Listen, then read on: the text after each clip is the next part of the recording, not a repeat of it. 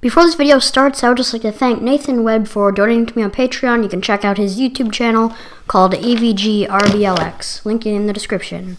Hey guys, what's up? Today, uh, I'm going to be putting new tires on the Slash and then driving it. Um, that's about it.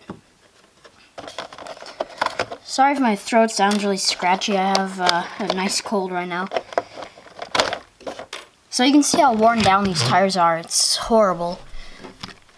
Like, you can see this one has like almost no tread on it whatsoever. So, we have our new tires right here. Got a couple packages of them.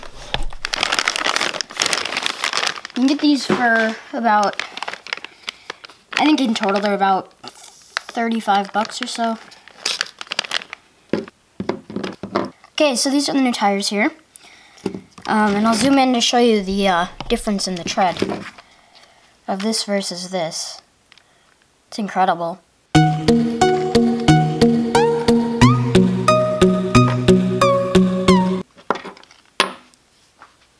be a lot faster if I hook this up to a drill. I'm gonna see if it'll work.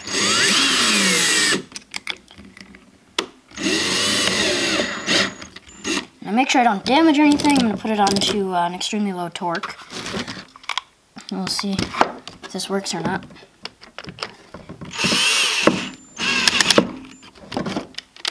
Oh Wrong way.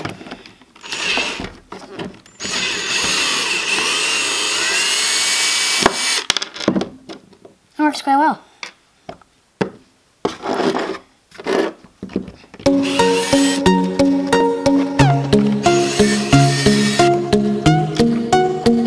So I'll give you one more comparison here. You can see just the overall width of the tires is different because it's so incredibly worn down. Like if I just let them sit on their own like this, you can see that difference, the height difference between the two. It's very slight, but it's definitely there and it's quite noticeable if you look hard enough.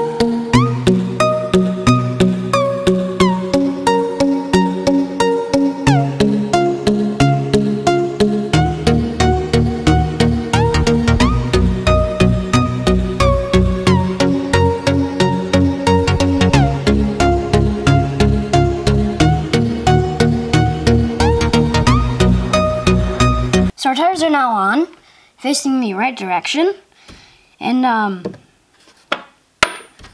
guess we're just gotta go drive now. Um, I'm gonna charge it up quick, because, you know, it helps to have a full battery.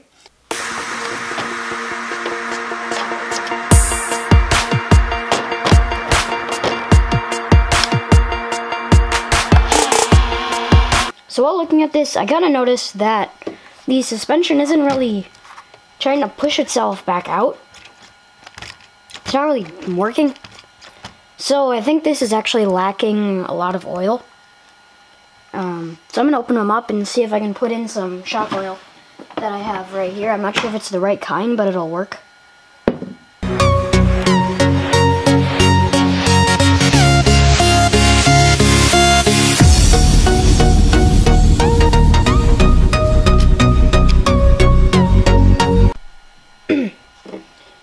Just have some uh, needle nose pliers here. And I'm just going to twist this. It pops right open and there's all the oil. And you can see there's really not too much in there.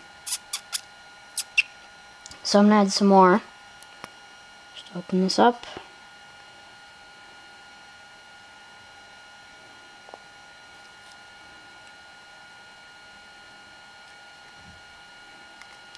One thing I like about these bottles is they're hard to squeeze, which makes it uh, a lot harder to overfill these. Looks like I might have overdone this a little bit. I'm going to take a paper towel here. Yeah, that's going to work a lot better. So I guess I'll repeat it on all the other ones. Okay, so I just finished with the back springs here. And I'm going to give an example of how much better it is by using this wrench. This is pretty heavy.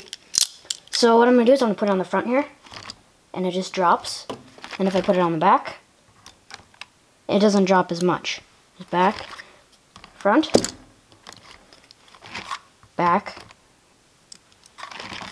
front. So you can really see how much difference there is by adding more oil. So another example I'm going to give here is when I pick this up and drop it a couple inches, you can see how the back will stay up, but the front will hit the table, and you can hear it.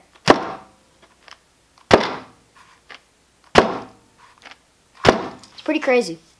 Okay, so I've now completed the front and the back.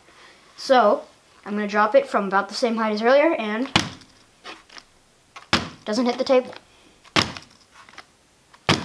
I can even go a little higher. So, it's definitely a huge improvement.